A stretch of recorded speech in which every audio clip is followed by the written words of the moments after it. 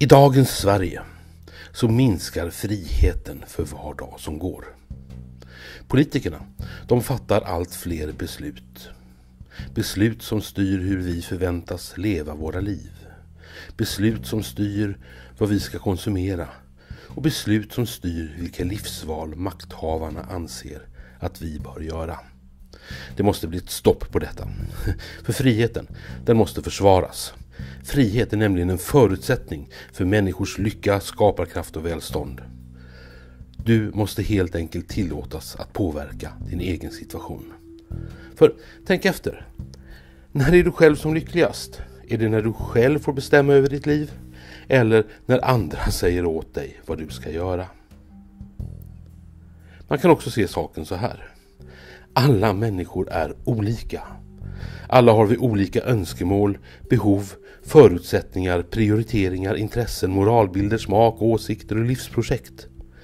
Detta måste våra makthavare lära sig att respektera. De måste låta människor göra sina egna livsval. Och för att kunna göra sina egna livsval, eller val överhuvudtaget, så måste man kunna välja mellan det som passar en själv bäst bland många olika alternativ. Därför så måste politikerna sluta lägga sig i våra liv. Därför måste vi ha ett fritt och öppet samhälle som kan erbjuda oss många olika alternativ att välja mellan. Men så är det inte i Sverige idag. Sossar, moderater, folkpartister, sverigedemokrater, centerpartister, vänsterpartister, miljöpartister och kristdemokrater. Alla vill de tvinga hela svenska folket att göra på ett enda sätt. Att göra som just de vill. Istället för att låta människor göra egna val så vill de tvinga alla människor att acceptera deras idéer, deras världsbild och deras modeller. Och sådant, ja, det slutar aldrig lyckligt. För en storlek passar helt enkelt inte alla. Men det är så det fungerar i dagens system. The winner takes it all. Och politikerna, de har faktiskt makt att tvinga folket att lyda. Men vore det då inte rimligare, mänskligare och bättre att låta människor välja själva? Jo, visst är det så. Men politikerna och deras funktionärer i byråkratin kommer aldrig att släppa ifrån sig makt till folket. I vart fall inte frivilligt. Därför måste friheten alltid försvaras och återerövras. Nu kanske någon invänder att eh, vi kan inte ha anarki i vårt land. Men frihet är inte anarki. Frihet är respekt och spontant samarbete under frivilliga former. På en fri marknad så produceras de mängder bröd, det antal bilar och det antal pennor som efterfrågas. Det sker spontant, utan reglering, utan centralstyrning. Det görs av människor som möter en efterfrågan på olika saker som finns i vårt samhälle. Motsatsen, det gäller för sånt som är politiserat, överreglerat och centralstyrt. Som bostadsmarknaden. Skälet till att det råder en akut bostadsbrist är helt enkelt politiska beslut. På en fri marknad så hade detta aldrig inträffat. Frihet. Frihet förutsätter också respekt människor emellan. Detta kan enklast förklaras med ett känt frihetligt mantra som många av er säkert har hört förut.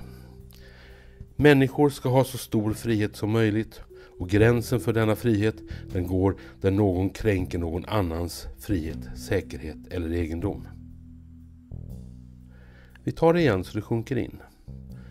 Människor ska ha så stor frihet som möjligt.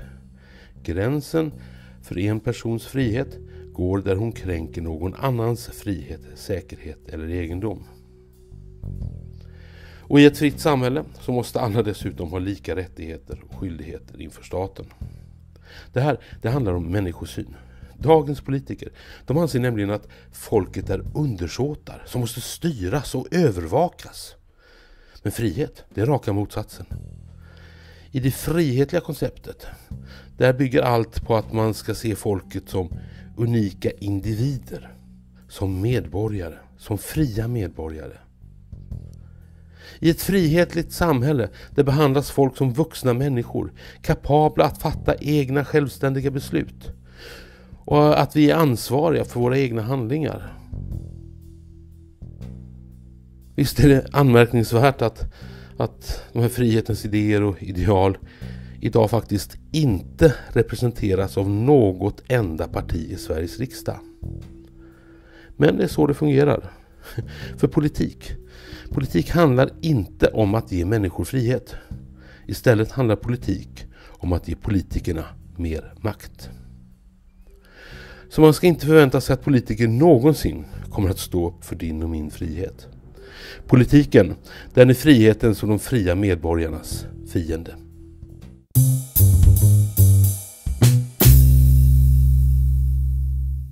Tack för att du har lyssnat på denna podcast från www.henrikalexandersson.se. Du får gärna gilla, prenumerera och dela sändningen med dina vänner. På återhörande.